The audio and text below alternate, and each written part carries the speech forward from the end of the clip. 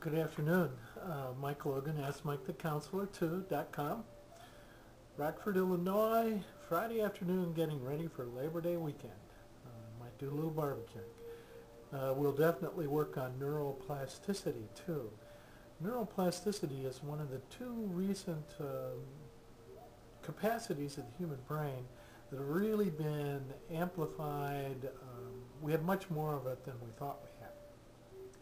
Neuroplasticity is the changes in my brain that happen pretty much real time. Uh, new connections between dendrites, axons, new synaptic connections um, inside of my brain based on how I'm using it.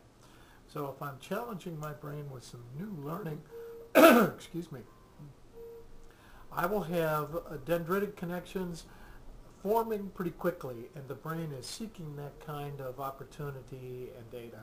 And there are a lot of uh, brand new brain fitness programs available now and a lot of emphasis on things like uh, nutrition, sleep, stress management.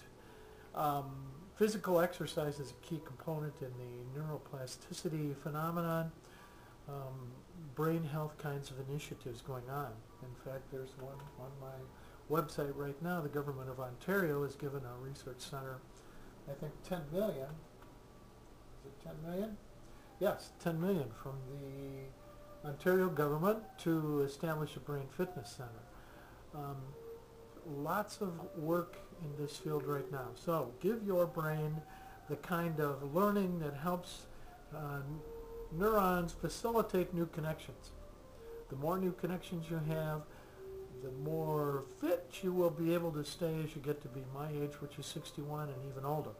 Uh, it's baby boomers who are whose demand is driving this research and market. But neuroplasticity is a brand new capacity of the human brain that we didn't know it had. Now that, that along with neurogenesis can be enhanced and, uh, and created. I mean, we can make more of it. So, so much for neuroplasticity. I hope you enjoy your holiday. Thank you very much. Mike Logan, AskMikeTheCounselor2.com.